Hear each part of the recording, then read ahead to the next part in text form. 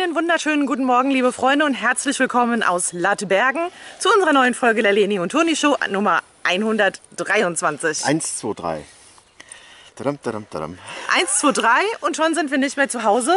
Wir sind auf dem Weg nach Kappeln. Erstmal vielen Dank für all eure Nachrichten, die ihr mal wieder uns hinterlassen habt äh, in der letzten Woche. Und ähm, aufgrund dessen haben wir uns dazu entschlossen, nicht nach Schweden zu fahren. Wir haben mal ein bisschen geforscht und ähm, waren dann tatsächlich sehr erstaunt darüber, dass man doch in Quarantäne muss.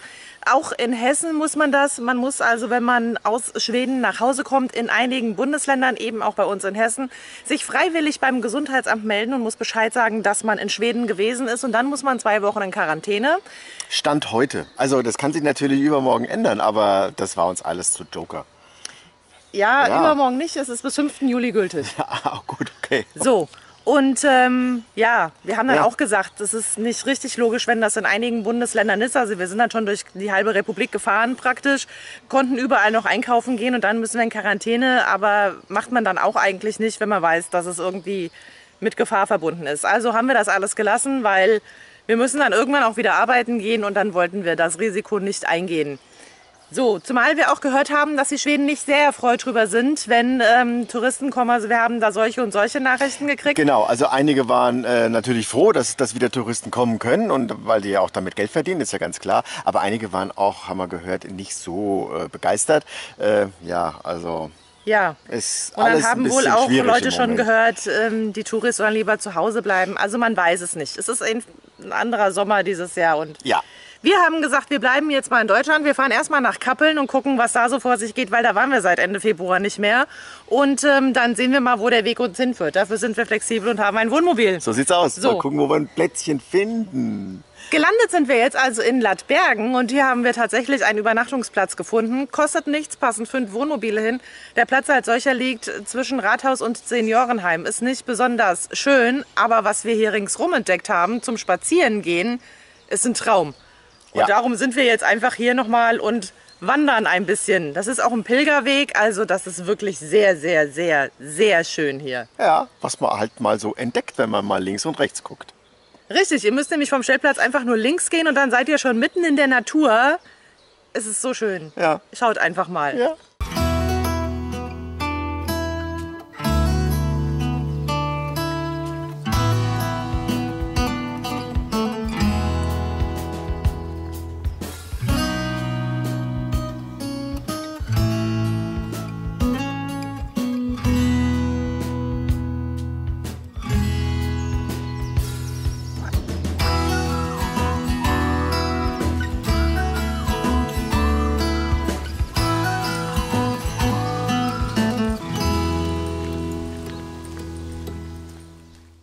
So, ihr habt gesehen, wie schön es hier ist zum Spazierengehen und zum Wandern. Ihr könnt Nordic Walking machen. 300 Kilometer Wanderstrecke ist hier direkt ab dem Stellplatz. Und wie gesagt, der Stellplatz, naja, ist für fünf Wohnmobile, ist es wirklich, es kostet nichts, es ist nichts da, kein Strom, keine Versorgung, keine Entsorgung, gar nichts. Aber ich finde super, dass man sich einfach hier hinstellen kann, direkt an der A1. Ja. Ja, A1. Wir sind mal anders gefahren dieses Mal. Und äh, ein Kilometer von der Autobahn entfernt. Es ist total ruhig hier. Wie gesagt, zwischen Rathaus und Seniorenheim. Und hier sind noch zwei Wohnhäuser. Man kriegt hier nichts mit und man hat seine Ruhe und man kann direkt weiterfahren, wenn man nicht wandern gehen möchte.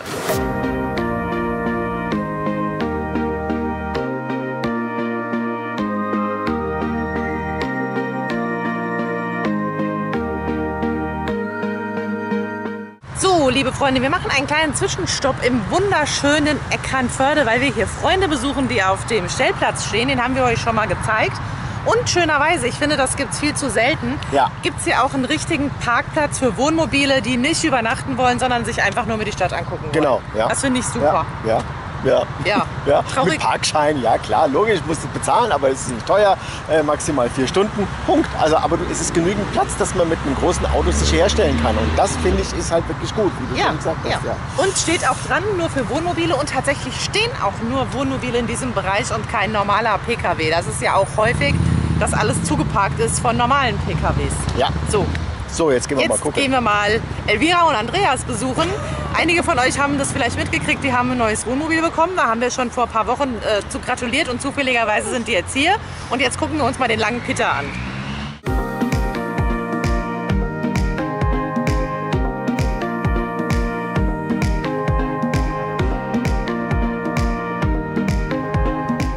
So, liebe Freunde, also wir waren eben in Eckernförde auf dem Stellplatz. Der war erstaunlicherweise gar nicht so voll, wie wir vermutet haben. Also wir sind mal gespannt, was sich in den nächsten Tagen so ergibt mit Stellplätzen und wie voll die alle sind. Wir haben uns den langen Peter angeguckt und haben mit Elvira und Andreas angestoßen auf dieses neue, wunderschöne Wohnmobil. Und jetzt sind wir in Kappeln angekommen und sind total glücklich, wieder hier zu sein. Es ist so unglaublich. Ich musste erstmal ein bisschen weinen, weil es einfach so schön war und ich irgendwie nicht gedacht hätte, dass wir dieses Jahr nochmal hierher kommen können. Ja, also. Ja. Naja, so gewiss war das ja nicht. Auf jeden Fall steht jetzt unsere Greta neben unserem Haus und das ist so lustig, weil die eigentlich größer als das Haus ist. Aber jetzt müssen wir weiterkommen, weil da kommt ein großer Hund und Clara spitzt da schon. Wir gehen So. jetzt nämlich erstmal was essen.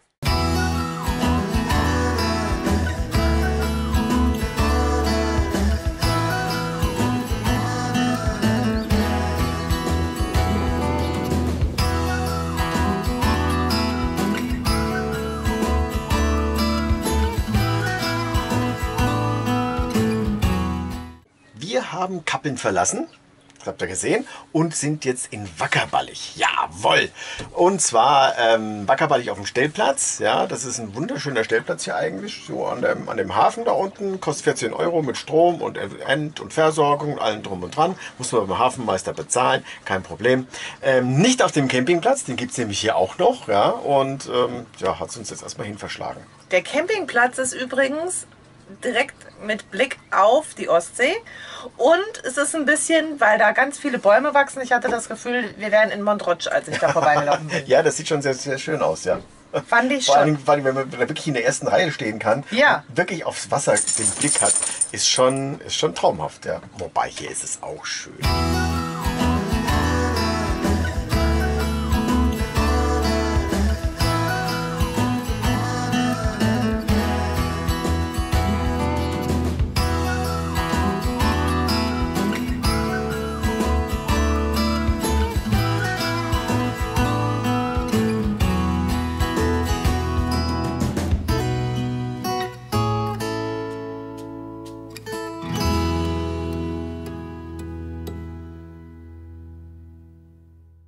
Also Wackerballig gehört zu Gelting und viele von euch kennen das bestimmt hier. Wenn ihr in Kappeln wart, dann seid ihr schon mal hier an der Geltinger Birk gewesen. Marsholm ist hier um die Ecke, also ihr könnt hier wochenlang verbringen und Stellplatz-Hopping machen sozusagen. genau. Das ist sensationell. Hier in Gelting gibt es noch einen zweiten Stellplatz an der Mole, der ist von hier zwei Kilometer entfernt.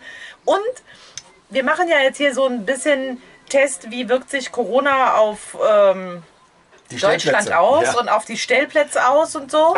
Und wir müssen aber jetzt sagen, als wir in Eckernförde waren, war ganz viel noch frei. Hier war es kein Problem. Gut, in Kappeln weiß ich nicht, aber in Kappeln ist, also ich habe Bilder gesehen gestern und da war es auch kein Problem, da einen Stellplatz zu kriegen. ja, also ich denke auch, äh, es ist zwar recht belebt alles, aber jetzt nicht so, dass man gar nichts mehr findet. Ja. Ja. Ja. Schau mal, wir haben uns eine, eine, eine, eine Deutschlandkarte hierher gehängt. Also wir sind ja jetzt da oben, ne? Da, da. Da oben sind wir jetzt da in dieser Bucht, ne? Ja, so. Ja. Ja. Ich hatte letzte Woche ein bisschen viel erzählt und ich habe eben zum Toni gesagt, er muss auch was erzählen, aber ich Ja, habe ja. gerade das Gefühl, es kommt nicht so. aber Freunde, letzte Woche hatten wir euch ja die Geschichte von den Keilen erzählt und es kamen ganz viele tolle Nachrichten von den Keilen und das ist der Punkt, an dem Toni euch gleich noch seine neuen Keile zeigen wird. Aber erst muss ich euch noch zeigen, wir haben nämlich Post bekommen diese Woche. Und wir müssen unbedingt Danke sagen, weil es ist ganz, ganz, ganz großartig. Und es war eine riesen Überraschung. Wir haben zwei Pakete gekriegt, von denen wir überhaupt nichts geahnt haben. Und dann zack stand die Post vor der Tür und ich habe ein Paket für sie. Und ich habe mich so tierisch gefreut. Einmal kam weil ja der Omnia gerade ganz aktuell ist, von Sabine dieses fantastische Geschenk. Sabine hat diese, also da ist der Omnia jetzt drin, das ist ein Omnia Eine Omnia-Hülle. Hülle, Hülle. Also eine sagt. Omnia-Hutschachtel. Ja, eine Ja. Hutschachtel. Es ist wie eine Hutschachtel Also- und der Omnia ist da drin und das ist ganz liebevoll genäht. Die Annette hat das gemacht und die Sabine kennt die Annette, woher auch immer. Ich habe die ganzen Zusammenhänge, muss ich zugeben, nicht so richtig verstanden. Auf jeden Fall hat die Annette das gemacht. Danke, Annette. Auch für die Grüße. Sabine hat uns alles ausgerichtet. Und Sabine, danke für diese Überraschung. So, und da passt der Omnia perfekt rein. Ich habe keine Ahnung von der Annette, aber ich finde es ganz, ganz, ganz toll und großartig. Und es ist so schön. Ich habe mich wirklich so gefreut. Und es ist so groß, da ist auch noch die Springform mit drin. Ja. So. Also ja, das fand ich. Liegt ja daran, dass der Omnia so groß ist, dass die Springform in den Omnia passt. Also wer keine Springform hat, kann diese, kann so eine Hutschachtel auch verwenden für den Omnia. Ich dachte, du sagst jetzt für einen Hut. Ja, oder so. Für einen ja. Sonnenhut. Aber guck Ja. mal, ist mit, also ich finde es ist auch hier mit, mit einem Bulli drauf. Und also ich finde es ganz, ganz großartig. Ja. Und vor allem hat die Annette auch noch ein Halstuch für die Clara gemacht. Das ist ein bisschen groß ausgefallen. Das passt wahrscheinlich im Labrador. Aber ich habe es Clara einfach hinten nochmal zugeknotet und dann habe ich es zugeknöpft. Und Sie ist da zwar blau angelaufen, aber das stimmt gar nicht. Ich zeig's euch gleich nochmal. Wenn der Toni seine neuen Keile auspackt, dann packe ich das Tuch aus, das übrigens orange ist. Annette, du hast es genau getroffen. Und dann ziehen wir Clara das an. Und sie fand's auch toll. ja, Wohl. kann es ja nicht werden. Doch. Und dann haben wir noch ein, also Sabine, danke. Es war wirklich eine sehr gelungene Überraschung. So. Und dann haben wir noch Post bekommen von Daniela. Und das war genauso großartig, weil letzte Woche habe ich ja von meiner, von meiner Wahnsinns-Notizbuchsammlung erzählt und dass ich danach süchtig bin. Und zack, hat die Daniela uns zwei Bücher geschickt, die sie eigentlich für sich selbst selber entworfen hat. Nämlich einmal ein Camping-Logbuch und dann nochmal ein Projektbuch. Und die Daniela, die hat einen Etsy-Shop, Miss Paperment. Und dann bin ich auf diese Seite gegangen und dann war es auch vollkommen vorüber mit mir, weil sie entwirft noch Sticker und macht lauter so wunder, wunderschöne Sachen. So ein Mädchenkram. Ja, ja, ich sag halt, okay. Ja. Es tut mir leid. So, und jetzt schaut mal, die wollen nämlich ein Jahr durch Europa fahren und hat sie selber dieses Campers-Logbuch entworfen. Ja, das ist jetzt Werbung, das ist richtig, es ist unbezahlt und ich wusste gar nichts davon. Es ist pure, pure Begeisterung jetzt gerade. Das hat sie selber entworfen, für sich selber. Und das könnt ihr natürlich auch kaufen in ihrem Etsy-Shop. Ich verlinke das unten. Miss Papermint, allein der Name und mit einem Herzchen auf. Also es ist genau mein Geschmack. Es ist super. Und dann noch dieses Projektbuch dazu, was im Grunde genommen auch nur ein Notizbuch ist. Das sollte eig- und und bitte mit Stickern drin. Mit Stickern. Ne?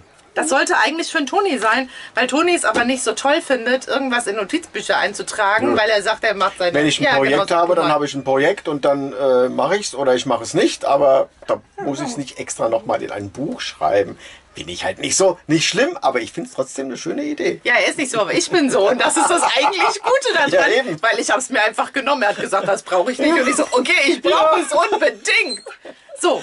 Und dann habe ich mir nämlich gleich ein neues Projekt überlegt, dass wir nämlich so eine Art Tagebuch schreiben werden auf unserer Internetseite über die Corona-Auswirkungen, die wir hier so jeden Tag erleben und unseren einen kleinen Reisebericht so tagtäglich oder alle zwei Tage. Ich weiß noch nicht, wie ich das alles zeitlich umsetzen soll, aber wenn ihr immer mal auf Leni und Toni guckt, de übrigens, meine ich, dann seht ihr, ob ich es schaffe oder nicht. Ehe wir nächsten Montag haben. So, und jetzt höre ich auch auf zu quatschen. Sehr gerne. Und überlasse dir das Feld mit den, mit den Keile. Keilen. Also die Auffahrkeile, das war ja der Aufruf. Was habt ihr für Auffahrkeile? Was könnt ihr uns empfehlen? Also da waren viele, viele Sachen dabei. Äh, ihr wolltet uns auch welche schenken und schicken. Äh, entweder waren sie wirklich nicht hoch genug, weil ich habe ja gesagt, also unter 10 cm geht mal gar nichts, ja, weil wir ja eigentlich keine Keilefahrer sind, nur wenn es wirklich ganz extrem ist. Also braucht man schon was Höheres. Oder ähm, äh, ich hatte dann die anderen schon bestellt, ja. Und der beste Tipp, für uns jetzt war, dass Obelink die Milenko-Keile in der Aktion hatten. Und die, die waren mir immer zu teuer. Und jetzt waren die runtergesetzt, haben nur noch 60 Euro gekostet und habe ich zugeschlagen. Peng. So, und jetzt zeige ich sie euch. Bei der Gelegenheit wollte ich euch mal die Truma-App zeigen. Also viele von euch kennen die bestimmt. Die haben sie auch schon. Ähm, wir haben jetzt keinen Leveler, wir haben auch keine iNetbox verbaut, aber ich habe mir die Truma-App trotzdem runtergeladen, weil die kann nämlich anzeigen, wie viel wo drunter muss unter welches Rad, dass man dann auch gerade steht. Hier seht ihr mal unser Büro. Legt ihr das einfach auf den Tisch oder wo es halt gerade ist und dann wird angezeigt, vorne links 11,7, rechts 10,5, 4, egal, wackelt ein bisschen. Hier hinten ähm, müsste ein Zentimeter drunter. Also da wollen wir jetzt mal nicht so sein. Aber mit dieser App wisst ihr immer gleich, so viel müsste ich hoch oder runter. Ne? Also dann ist gar nicht so schlecht. Aber jetzt gehen wir endlich raus. Schau mal, die Leni hat hier eine Kunstpflanze hingestellt. Also erst habe ich ja gedacht, wieder so ein Weiberkram. Aber ich finde es ganz schön. Also die gab es so bei Ikea. Die hatten wir zu Hause rumstehen. Hat sie gesagt, das nehme ich mal mit. Wenn wir uns irgendwo hinstellen, stellt sie die da hin. Sieht doch gleich ein bisschen wohnlicher aus. Also ich finde es ist natürlich Also muss man schon sagen, ist natürlich ein Trumm, ja. Ist klar. Also das sind natürlich äh, wirklich Trümmerkeile. Die nehmen auch in der Garage ein bisschen Platz weg, ist richtig. Aber dafür sind die ordentlich breit und ordentlich hoch. Also da haben wir hier 18 cm, die wir die hochfahren können. Und ähm, das ist genau das, worum es uns ging. Jetzt, ihr habt es gesehen, diese 11 cm, die stören uns eigentlich gar nicht. Ja? Also ich hätte die Keile jetzt gar nicht ausgepackt, wenn ich sie euch nicht hätte zeigen wollen. Ähm, aber wenn es halt wirklich dann mehr wird, kommt ja immer mal vor. Dann muss es aber auch dann richtig sein. Deswegen haben wir die genommen. Willst du jetzt da drauf fahren? Echt? Soll ich drauf fahren? Nee. Nö, gell? Deshalb frage ich ja so schon, Ja, hab ich ja ob gesagt. jetzt wegen 11 cm. Ich habe ja gesagt, wegen den 10, 11 cm Aber- fahren wir ja eigentlich gar nicht auf die Keile. Ja, Guck aber mal, sehe ich das richtig, dass die hier, das ist schön zum drauffahren? Das ist nicht einfach nur so schräg? Nee, das sind also das so sind, das sind vier gelevelt. Stufen. Das sind vier Stufen, ja. Also das sind vier, das sind die Quattros, so heißen die, Milenko Quattro. Und die haben vier Stufen. Eins, zwei, drei, vier. Ja, Clara, nochmal. Also eins, zwei, drei, vier Stufen. Und der letzte, das sind 18 Zentimeter. Jo. Der ist aber leichter mit drauffahren, ne?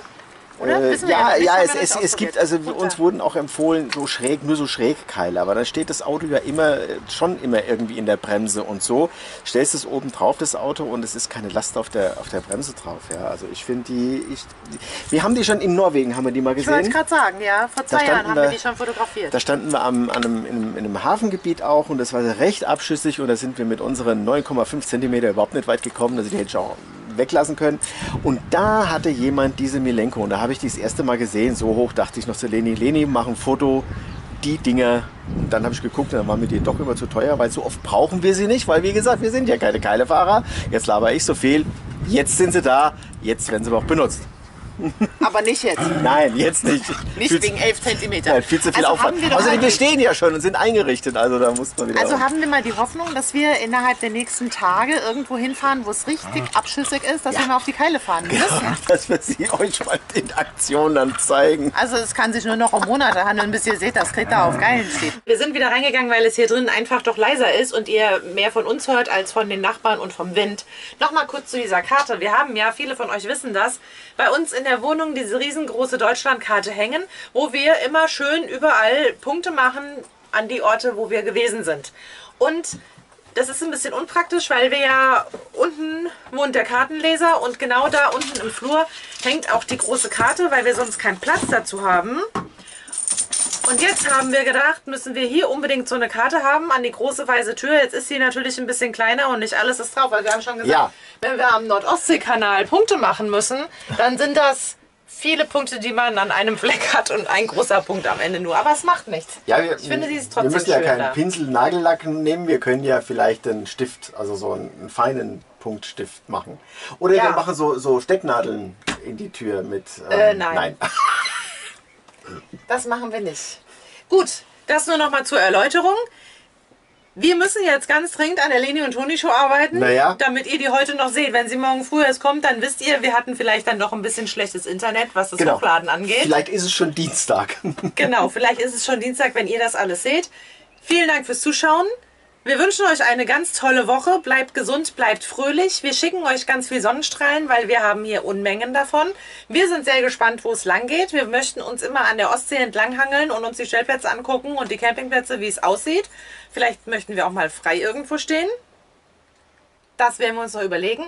Die Keile werden wir auspacken diese Woche. Und vielleicht schaffe ich es, einen Reisebericht online zu stellen. Jeden Tag, jeden zweiten Tag. Schaut einfach mal vorbei, drückt uns die Daumen. Auf Instagram gibt es immer schöne Bilder von uns. Ich habe eben so schöne Bilder gemacht, Freunde. Da gibt es bestimmt heute noch eins. Und ansonsten bis spätestens nächsten Montag wieder. Heute ist vielleicht auch schon Dienstag. Macht's gut, bis zur nächsten Show. Tschüss. Tschüss.